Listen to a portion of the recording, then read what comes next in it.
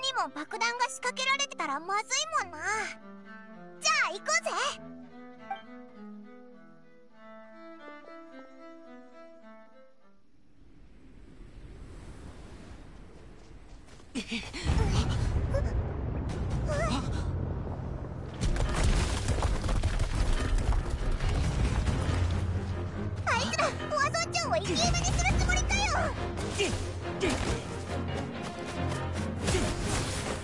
こ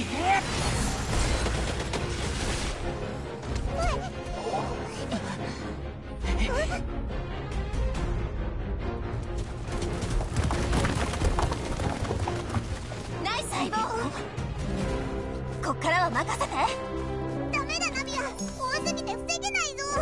防ぐ うちの流儀じゃないね。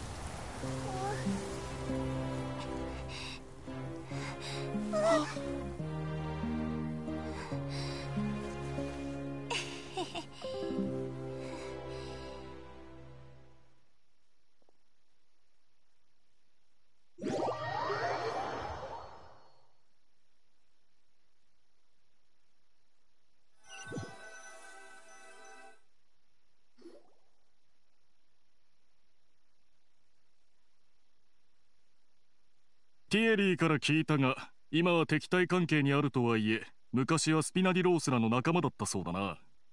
この件について直接協議して解決する気はあるか？あいつらと交わす言葉なんてないよ。恨みや怒りがあるからって。人々の安全を完全に無視するような連中がまともに会話できる思考回路を持ってるとは思えないもん。法律にのっとって相応の措置をとってスピナリロースらからは何のコメントもないから。分かった。この度のご協力に感謝する。おかげで甚大な被害が出ずに済んだ。さあ撤収だ奴らを全員連行しろ。やったなナビア。オイラたち守り通せたんだ。お前本当にすごかったぜ。そうね。本当。間に合ってよかった元素力を使いすぎたせいかも 私は平気だから気にしないで普段ならこういう風に褒めたら絶対にドヤ顔で返してくるはずだろ？いつものナビアと違ってなんか変な感じだぞボス、ポワソン町に潜伏していた者たちも全て捕らえました。出立艇に連れて行ってもらいます。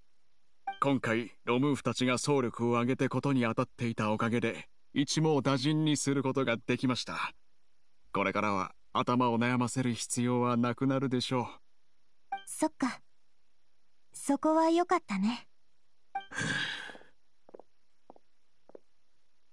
コルタあんたの考え理解できないわけじゃない失われたものは取り戻せないからこそより大切に見えるものよ。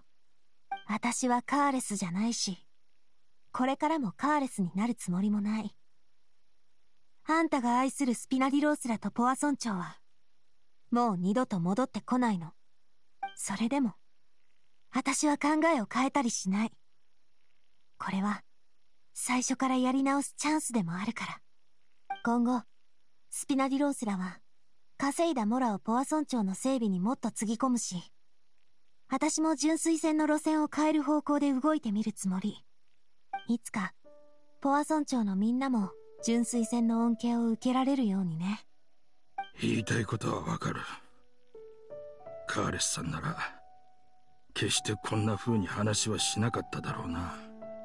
だがどうにもならないことがありすぎる。お前も俺もだ。あんたはもうスピナディロースらの一員じゃなくなった。けどあんたが再び自由を手にした日にもう一度ポア村長に帰ってくる気になったらこっちは歓迎するよ。ありがとうナビア。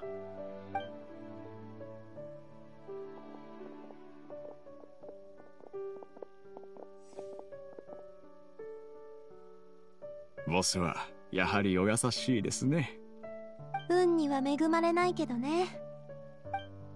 ありがとう。クレメンタイン戦を守ってくれて。正直言うと私怖かったの。カーレス戦をいつ復活させられるかもわからないのに。この上クレメンタイン戦まで壊されちゃったらもうどう向き合えばいいかわからない。名前はある種の刻印なの。毎日見えるクレメンタイン戦を失えばきっとまたママを失った気分になる。でも今もクレメンタイン戦はちゃんとあそこにある。本当によかった。なあ一体どうしちゃったんだよ。疲れてるっていうよりなんか落ち込んでるように見えるぞ。ボスには少し時間が必要ですね。うん。あがとね。ちょっと手を貸してくれる？なんだか力が抜けちゃった。旅人聞きたいことがあるの。絶対本当の気持ちを答えてほしい。あんたは本心から私を相棒だと思ってくれてる？もちろん。そっか。よかった。そう言ってもらえて本当にほっとしたよ。調子は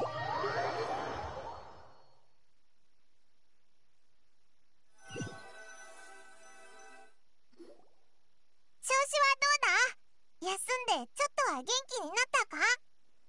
うんはマシになった。でも多分あと1日か2日くらいは欲しいかも。ごめんね相棒。